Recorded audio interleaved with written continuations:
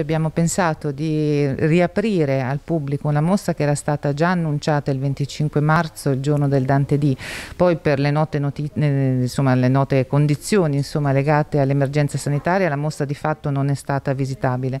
Da oggi eh, finalmente possiamo riaprirla al pubblico e sarà aperta anche fino al 31 luglio, quindi oggi ne annunciamo anche la proroga, in modo che dar, da dare la possibilità a tutti quanti, cittadini e turisti, di poterla venire a visitare.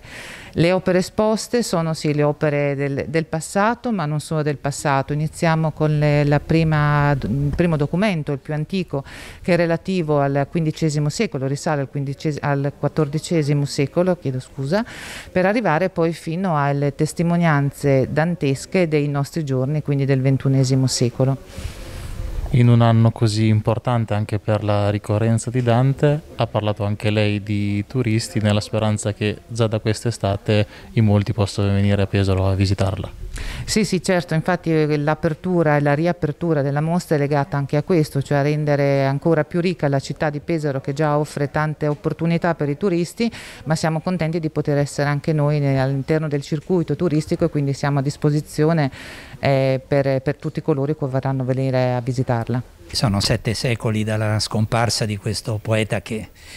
è significativo per tutta l'Italia, per la sua identità, per la lingua italiana e anche per questi luoghi, perché spesso sono citati nella commedia eh, tutta la zona del Montefeltro, Fano, San Leo, eh, il Monte Catria, diciamo era una realtà che Dante conosceva molto bene. La nostra intenzione è quella di mantenere vivo il ricordo proprio attraverso i libri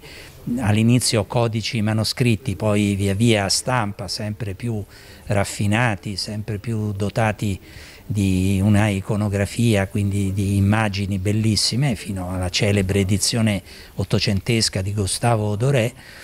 e che eh, portano a luce tutta una serie di aspetti anche estremamente attuali, più di quanto potremmo immaginare. Presidente, invece per quanto riguarda l'attualità si terranno degli incontri, soprattutto dal mese di settembre, che particolarità hanno?